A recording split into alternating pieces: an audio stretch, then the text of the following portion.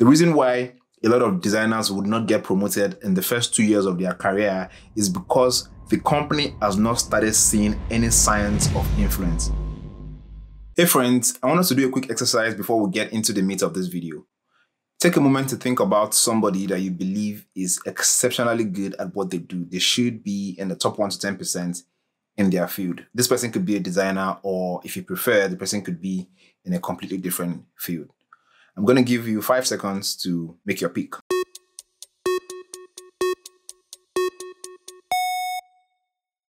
Great. Now hold that thought because we're going to need it at the end of this video. In this video, I'm going to be sharing the three skills that you need to be in the top 1 to 10% of UX designers globally. I'll be covering what these skills are, the timeline that you need to focus on each of these skills, and how to develop each of the skills. Let's get into it. The first skill that you need to develop is the skill of craft. Personally, I define craft as one's ability to be exceptionally good at something with a unique twist. The keywords here are exceptional and unique. You want to develop your skill of craft in the first one to two years of your career as a designer. So you're fresh out of a boot camp, or you just got your first job as a UX designer or UI designer, or as a product designer. New job, new roomies. The first one to two years is where you should focus on developing your craft. In this particular period, forget every other thing, abandon every other thing, and focus on developing your craft. This is the period where you do everything literally from visual design to prototyping to wireframing to speaking to users, copywriting to trying to thrive in ambiguous problem spaces. And also, this is where you're strengthening your muscles on developing new ideas and finding ways to solve problems using different ideas. The reason why this is important is once you've been able to do all of these things, you will start to identify the things that you enjoy doing and the things that you don't exactly enjoy doing. Also, as part of owning your craft, this is where you get to define what being a generalist means to you. And why is it important to define what it means to be a generalist to you? This is the time and age where the generalists are the ones that are thriving. Design industry or the tech industry right now does not favor people that are specialized in particular skills anymore. Right now, you need to be able to combine a number of skills to provide value to the business that hired you because of the competition in the industry. So a business is more likely to hire somebody that is really good at speaking to users and that can come up with good design solutions and can maybe also write copies for those solutions than somebody that just knows how to visualize and prototype alone. So you need to identify what your definition of a generalist is and the things that you can do within that definition. Being able to have this combination of skills is where the uniqueness in your craft actually comes in because you'll be surprised that the way you combine your skills is not the same way that somebody else combines their skills. So, how do you develop your craft? First of all, do a bit of everything. Then, secondly, identify the things that you enjoy doing the most, right? Identify a combination of skills that you enjoy doing the most. I would say a combination of three skills. So, for you, it can be visual design and prototyping with maybe running workshops, and maybe copywriting. Maybe those are the three skills that you really, really enjoy. And then the third thing that you need to do is to find how you can improve on these skills every day. So the first one to two years, you get to own your craft. The next skill that you need to develop is the skill of storytelling. I can't understate how important storytelling is to your career as a designer because without mastering the art of storytelling, it will be difficult for you to sell your ideas. It is going to be difficult for you to sell the craft skills that you've developed. It is going to be difficult for you to advocate for your ideas and make sure that your ideas get built. And if your ideas don't get built, it's going to be difficult for you to progress in your career. So ideally, you want to start focusing on the storytelling skills in the second year of your career. So there's a slight overlap between you learning how to own your craft and you bringing the art of storytelling into that process. As you're learning how to own your craft and developing the key craft skills that you want to focus on, then maybe in the second year of your career, you can start thinking about how you can introduce storytelling, how you can tell the story about how you've been able to come up with your design solutions and how you can advocate for your ideas. The best designers that I know are also great storytellers. And one example that everybody's most likely familiar with is Steve Jobs. I consider Steve Jobs as a designer and a founder. He's one of the greatest founders of our time, but then he's also a really, really good storyteller. If you look at the Apple WWDC event of today,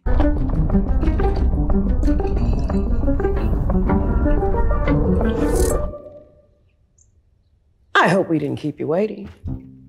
Mother Nature. Mother Nature, welcome to Apple. How, how was the weather getting in? The template for that WWDC presentation came from Apple's first ever iPhone, which was presented by Steve Jobs. An iPod, a phone, and an internet communicator. An iPod, a phone. Are you getting it? These are not three separate devices. This is one device. And we are calling it iPhone.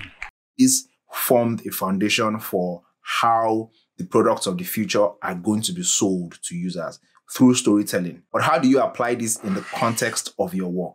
First of all, understand your user needs, right? Secondly, understand what the business goals are. Thirdly, understand the needs of the key stakeholders that you're working with. So understand what the need of your product manager is, understand what the goal of your product manager is, understand what the goal of your other senior stakeholder is, up to the CEO of your company. Know what would appeal to them. Then when you understand that, you then need to find a story that connects the user needs, the business goals, and the goals of those key stakeholders as well. I know it might sound a bit overwhelming, but let me use a very simple idea to explain this. So, say for example, you work for a fintech company and you've just designed a new feature that enables users to be able to hit their savings targets, right? That is a feature that you've worked on. Now you want to sell this idea to the stakeholders in your team. Here's an example of a story that you can use to sell this idea you can say that while we were conducting user research, we met with one amazing lady called Claudia. Claudia is a single mother of two that has been unable to meet up with her mortgage deposit because, according to her, she always forgets to pay the deposit monthly into her savings pot when she gets paid. With this new feature, we're ensuring that Claudia and other people like her are able to get prompted whenever it's payday so that they can add money to their savings pot or they could even set an auto deposit that automatically deducts money from their account and add that to their savings pot so they don't have to remember. By implementing this feature, we'll be able to increase the total amount of deposits in our savings pot by 5% if we roll out this feature to 50% of users. With this short story, you've been able to address the user need. You've been able to personalize the story to Claudia, who is one of your target users or one of your personas, you've also been able to hit the goal of your product manager or your senior stakeholder by talking about the feature that you're building. And then lastly, you've been able to introduce the business goal as well, which is increasing the amount that is deposited into a savings pot. So this way you're able to connect the user needs, the business goals, and the goals of your stakeholders using one simple story. Using this would help you to really advocate for your ideas. And there are so many other ways that you can tell stories. Using movie references also works a lot. Basically, just find something that resonates with everybody that you're speaking to, something that puts everybody on a common ground, and use that to advocate for your ideas. This brings us nicely to the third skill that you need to master, which is the skill of influence. You're probably three years into your career at this point. So now you can combine your crafts and storytelling to sell your idea. Now, what you need to master is the skill of influence. And basically, influence means being able to make other people see your way of thinking and being able to completely sell your ideas to other people right? So mastering your craft and combining that with the art of storytelling really helps you to achieve influence. Once you start getting into the third year of your career and beyond, you need to get more intentional about influence. You need to start understanding how you can start increasing your spheres of influence because influence is what gets you promoted again and again and again and again. The reason why a lot of designers would not get promoted in the first two years of their career is because the company has not started seeing any signs of influence. As soon as the company starts seeing the sign of influence, then they start to think about that person as being ready for the next level. And what's a sign of influence? A sign of influence is you being able to see a project through from the very beginning to the end until that project gets built. And then they're starting to see the impact of what you've built on the users and on the business, right? So your idea that you developed in your mind, that you crafted with your skills, that you told the story to sell is now being developed and built. Then that equals influence. Literally from the third of your career and beyond, what you just need to like double down and focus on is how can I keep increasing my sphere of influence? So I believe that there are three spheres of influence or there are three levels of influence that you need to grow while you're going on in your journey as a designer. The first sphere of influence is influencing your teammates, which is what you're basically doing at the early stages of your career. You need to position yourself as someone that your teammates look up to in certain aspects of their work. So your teammates could look up to you as someone that's able to think on their feet, that can easily come up with quick design solutions to any problem, or they could look up to you as somebody that is able to run very, very effective workshops. Just find something that you've mastered in your craft that your teammates look up to you for. Intentionally share that knowledge that you have with your immediate team. So have knowledge sharing sessions that you're sharing what you've learned and how you also solve your own problems with your team so that you can use that to be able to influence them.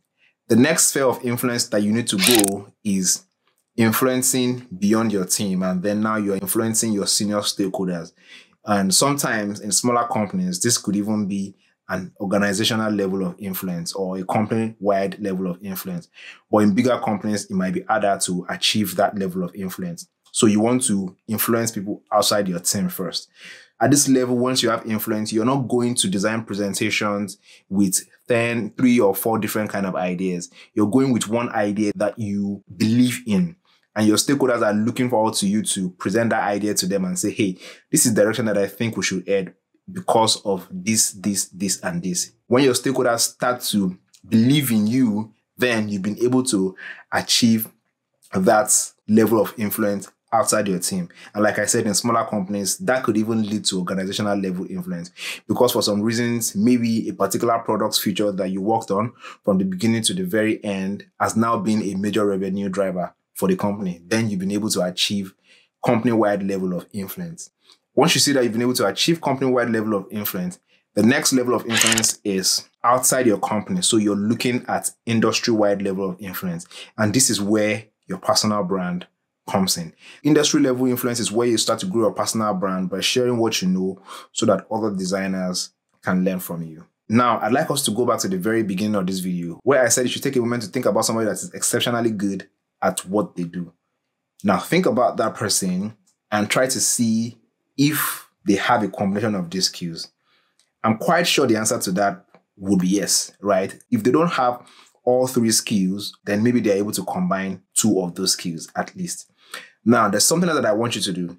I want you to score yourself on each of these skills.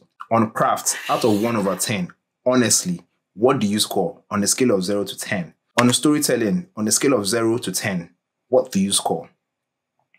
On influence, on a scale of 0 to 10, what do you score? Look at that, reflect properly. I would love you to also share that in the comment section because I'd like to engage with people to see what they've scored themselves. Now, compare what you score with what you think this other person that you feel they're at the very top of their career or that you feel that they're exceptional compare it with what you think they would score, right?